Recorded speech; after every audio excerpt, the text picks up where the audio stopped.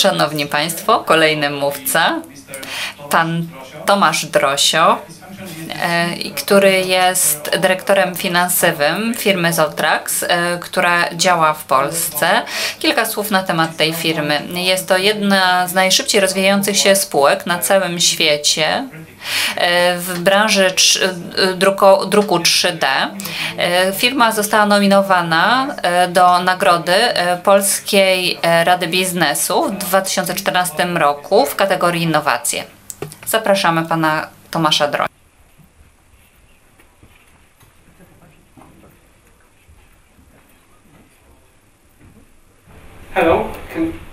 Dzień dobry, czy wszyscy mnie słyszą? Uh, Dziękuję bardzo za to zaproszenie.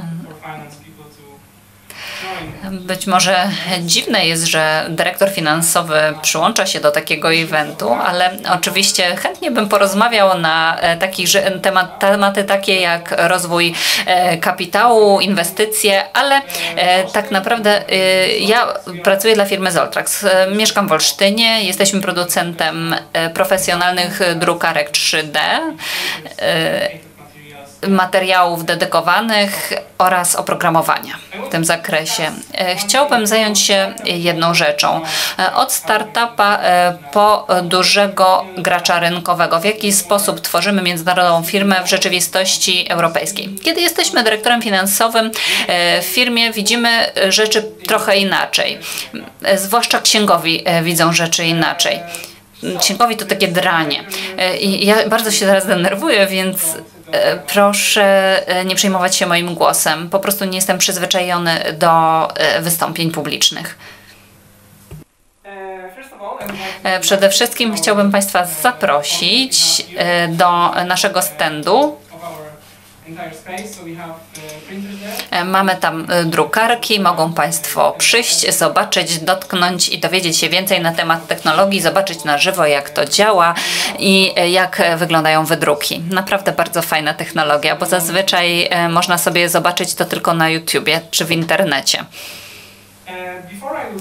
Zanim rozpocznę prezentację, najpierw trochę oldschoolowo zacznę. E, to zdjęcie pokazuje sytuację z lat 70., duży kryzys gospodarczy, kryzys energetyczny, mm, różne nazwy wtedy mm, stosowano. W każdym razie e, nieważne jest, e, że to był kryzys w, w branży ropy naftowej. To, co ważne, to dlaczego firmy bankrutowały jedna po drugiej, dlatego że naprawdę bankrutowały w mm, bardzo szybkim tempie. E, przyczyna była jedna. W jaki sposób patrzymy na biznes? Jak tworzony jest model biznesowy? Coś e, w, po drodze poszło nie tak. Założyliśmy, że lata 70. ubiegłego wieku to jest taki punkt, od którego zaczynamy patrzeć e, czy podchodzić do biznesu we współczesny sposób. Pewne rzeczy się zmieniły. E, teraz startupy e, tworzą działalność wcześniej, są, mają wpływ na warunki e, gospodarcze kraju, ale startupy są bardzo ekscytujące, dlatego że z małej firmy bardzo szybko mogą przekształcić się w ogromny biznes z obrotami na poziomie wielu miliardów, dolar, miliardów dolarów. Mogą bardzo szybko wejść na inne rynki, do innych krajów i wprowadzać coraz więcej produktu, generować coraz więcej sprzedaży, przychodów i przekształcić się z firmy, która ma siedzibę w jednym mieście, na siedzibę, która, na firmę, która jest obecna na wielu kontynentach. Definicja startupa e, też się zmienia. E, kiedyś dla nas startup e, była firmą, gdzie mamy jakichś dwóch facetów, którzy pracują nad jakimś projektem i są bardzo podekscytowani z tego względu. Oczywiście pracują sami, no bo nie chcą zaangażować nikogo innego, pracują 17 godzin dziennie, żeby firma się rozwijała. Moim zdaniem ta definicja już się zmieniła. W tej chwili nie mamy już tylko startupów, gdzie ludzie w gdzie tylko dwie osoby pracują nad projektem, tylko po prostu firma, y, jest to firma, która jest gotowa zmienić skalę y, działalności na y, dużo większą skalę. Zespoły są większe, projekty nie są same genialne w sobie. Mamy bardzo wiele projektów, które są ekscytujące i je uwielbiamy, uwielbiamy. to proste, ale Problem polega na tym, że nie każdy projekt może bardzo szybko zmienić swoją skalę czy swój zakres. A więc definicja startupu musiałaby być troszeczkę odświeżona. Zotrax była startupem, Oczywiście. Zaczęliśmy od e, kampanii Kickstarter, e, która była małym sukcesem. E, zebraliśmy 180 tysięcy dolarów. Jak na Polskę to był duży sukces. Naprawdę to wielka rzecz za granicą w Stanach Zjednoczonych. Zebrać pieniądze. Polska firma produkująca drukarki 3D no ale zadziałało. Zdaje się, że nie byliśmy gotowi na zmianę skali naszej działalności, więc nie, może, nie mogliśmy nazywać się dużym graczem rynkowym. rynkowym. My e, produkowaliśmy 100 produktów miesięcznie.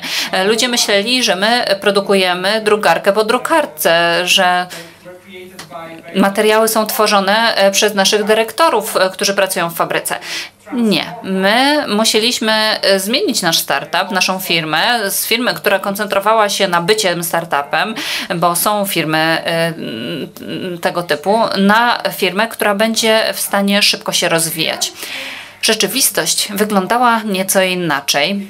Wtedy nie mieliśmy aż tak dużo drukarek i nie mieliśmy w ogóle zbyt wielu rzeczy w tamtych czasach, ale dlatego właśnie uznaliśmy, że musimy zmienić e, naszą, e, że musimy zmienić naszą skalę, musimy połączyć naszą wiedzę, nasze produkty i możliwości oferowane przed, przez rynek, e, nie uwzględniając, nie biorąc pod uwagę innych, którzy zajmują się tym samym bo wiele osób mogłoby powiedzieć, że przecież nie mamy szans, skoro jest taka konkurencja. No ale my jednak stwierdziliśmy, że coś w sobie mamy.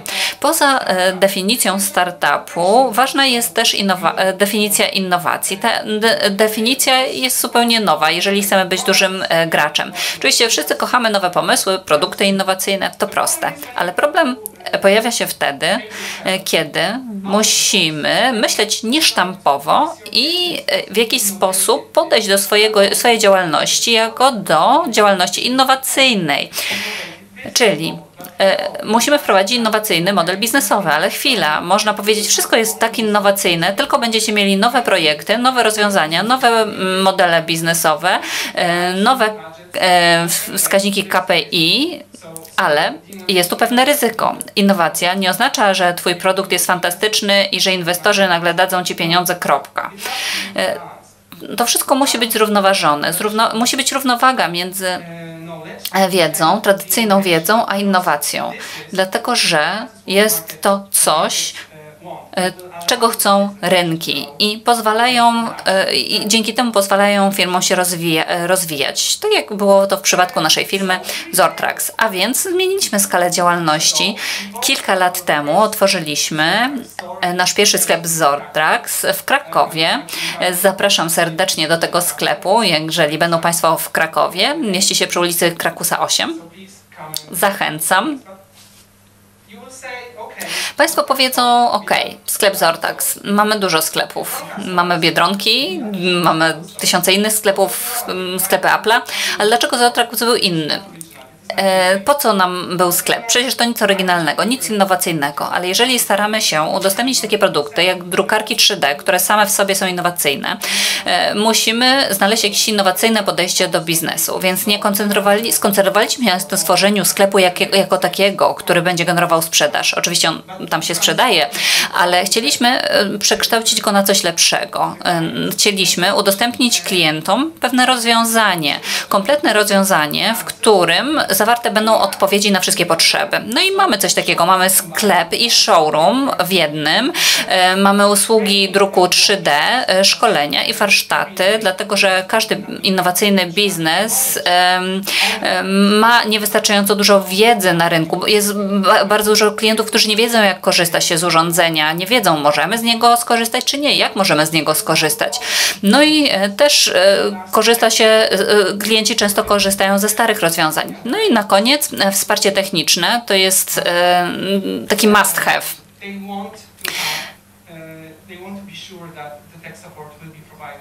bo zwłaszcza firmy za granicą czy klienci za granicą chcą wiedzieć, że będą mieli wsparcie techniczne w momencie, kiedy kupią nasz produkt. i że to wsparcie techniczne nie będzie miało żadnych ograniczeń. To jedno ze zdjęć e, z otwarcia naszego sklepu. To jest e, miejsce, które zrzesza, czy e, w którym spotyka się społeczność zajmująca się właśnie tą tematyką druku 3D. Wcześniej mówiłem o tej części innowacyjnej, a teraz próba w jaki sposób my do tego sklepu podchodzimy, więc nie mamy tylko e, indywidualnych sklepu, indywidualnych klientów, ale spółki interesują się e, współpracą i kupowaniem e, takich urządzeń. Nadal jesteśmy startupem. Jesteśmy teraz firmą, która w grudniu będzie miała swoje pierwsze urodziny, ale byliśmy w stanie zmienić skalę ponieważ jeżeli nie zmieniamy skali, no to pozostaniemy na zawsze startupem. Przez trzy lata opracowaliśmy program. 180 e, tysięcy dolarów funduszy, później z kolei obligacje korporacyjne, które umożliwiły nam zmianę skali. E, następnie w 2015 będą nowe urządzenia, które Y, o których usłyszą Państwo tutaj na terenie stadionu. 25 dystrybutorów y, w wielu krajach, więc to są liczby, które są sprzed miesiąca. Teraz praktycznie mamy już 30 ponad dystrybutorów. Więc jesteśmy obecni prawie w 20 krajach na całym świecie. Mamy ponad 120 pracowników w Polsce i w Chinach. Mamy 30 wniosków patentowych. 2000 metrów kwadratowych powierzchni biurowej i produkcyjnej. To jest naprawdę y, rzecz olbrzymia, ale jeżeli chcemy utrzymać produkt, produkt innowacyjny, to musimy również sprawić, żeby nasz biznes, nasz model biznesowy był innowacyjny. Dlaczego jest to takie ważne? Dlatego, że musimy wiedzieć, dokąd zmierzamy. Musimy wiedzieć, jakie są nasze cele. Jestem przekonany, że każdy produkt innowacyjny, czy każdy pomysł innowacyjny, czy firma innowacyjna będzie miała pewne takie podsumowanie, jak tutaj widać na slajdzie. W jakich sektorach działa? Mamy trzy rodzaje drukarek y, trójwymiarowych, profesjonalny, SCH i SMB i open source. Te open source i profesjonalne nie będą się zmieniać, więc musimy się dowiedzieć, jak tutaj możemy przejść do przodu z SOHO i SMB. I to są pytania, na które każdy startup musi odpowiedzieć, ponieważ dzisiaj, jak widzą Państwo, tutaj e, mało mamy perspektyw, tym niemniej nie wiemy, gdzie to, na co się kierujemy, nas zaprowadzi. Tym niemniej jest duży potencjał na zwiększenie udziału w rynku, na zwiększenie w ogóle tego rynku. Chciałam powiedzieć, że kierujemy się na to, żeby zostać firmą globalną. Niektórzy powiedzą, że e, globalizacja jest czymś, co umożliwia nam e, zarobić wielkie pieniądze, e, prowadzić ogromną sprzedaż, ale globalizacja przedsiębiorstwa jest również dużym wyzwaniem. Jak możemy zarządzać działalnością w różnych krajach? Jak możemy zarządzać działalnością w innych kulturach biznesowych? Bo to, że jesteśmy w, w, Europie, to nie znaczy, że na przykład klienci w Turcji mają taką samą kulturę, jak my mamy tutaj.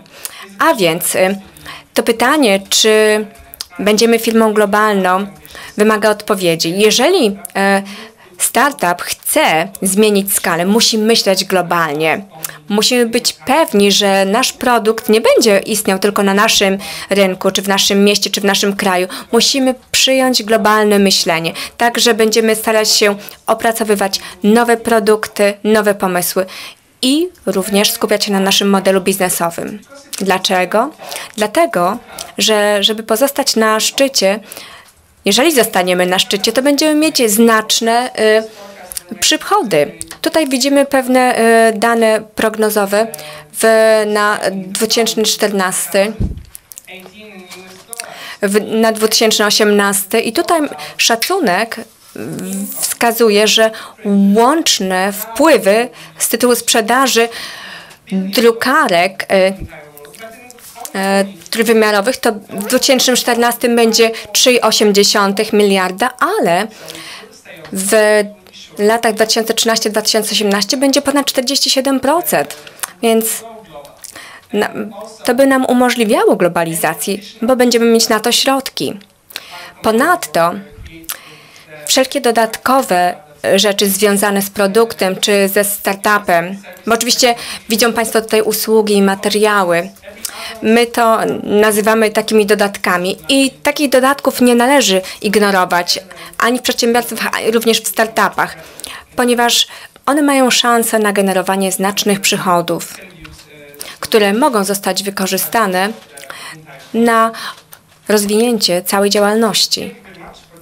Dziękuję bardzo Państwu za e, to krótkie spotkanie i zapraszam na stronę zortrax.com. Czy są jakieś pytania?